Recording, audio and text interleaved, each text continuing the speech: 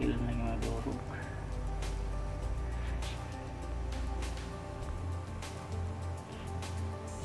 di durog lahat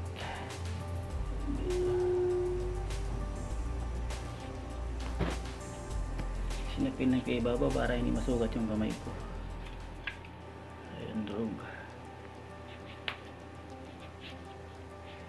matalas kasi yan kaya sinap sinapilan ko ng ganun kamay ko pag hindi ko tapinan